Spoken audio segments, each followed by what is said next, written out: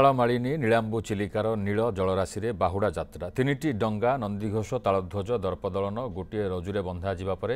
সেতিরে নির্মাণ হয়েছে সুসজ্জিত রথ উপরে ঠাকুর বিরাজমান হয়েছিল এরপরে ডঙ্গার রথ আগক বাহারি চিলিকার নীল জলরাশি পালটি যাই বড়দাণ্ড এভাবে বিরল রথযাত্রা খোর্ধা জেলা চিলিকা ব্লক অধীনস্থ নৈরি গাঁর চিলিকা কূল নিকটে কাঙ্কণ শিখরী দেখা মিছে